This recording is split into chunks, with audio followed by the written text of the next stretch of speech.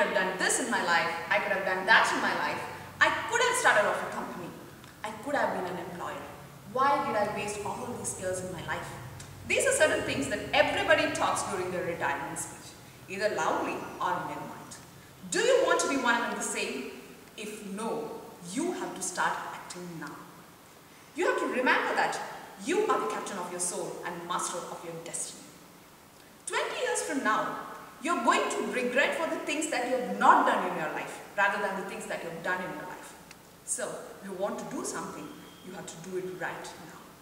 As the famous proverb says, which is the right day to start something? There's only one answer for that, that's today. Which is the right moment to start something? There's only one answer for that, that's this moment. So if you want to do something, you have to do it right now. And always remember, we are born.